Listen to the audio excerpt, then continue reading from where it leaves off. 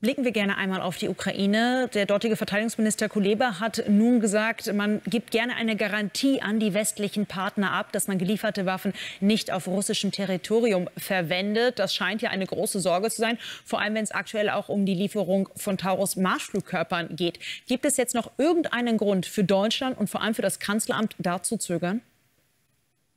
Nein, es gibt keinen Grund. Erst einmal ist die Ukraine seit anderthalb Jahren zuverlässig. Sie hat ja sehr viele Waffen, sehr viel Material bekommen und hat es so eingesetzt, wie es sozusagen vorher verabredet wurde. Es gibt überhaupt keinen Grund, misstrauisch zu sein. Dieser Marschflugkörper ist deswegen von Relevanz. Er fliegt unterm Radar und er kann vor allen Dingen truppischen äh, äh russischen Nachschublinien zerstören. Und deswegen meines Erachtens, unseres Erachtens gibt es keinen Grund, dass der Kanzler darüber nachdenkt, dass er sich die Entscheidung nicht einfach macht. Das tun wir alle nicht aber wir haben keine Zeit. Sie zeigen gerade Bilder, was in der Ukraine passiert.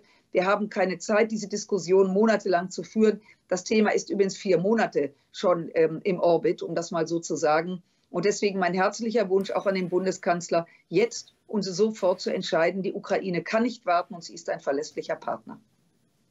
Frau Strack-Zimmermann, vielen herzlichen Dank für diese Einschätzungen und danke für Ihre Zeit. Wenn ihr mehr News aus unserem Team wollt, dann müsst ihr einmal hier klicken.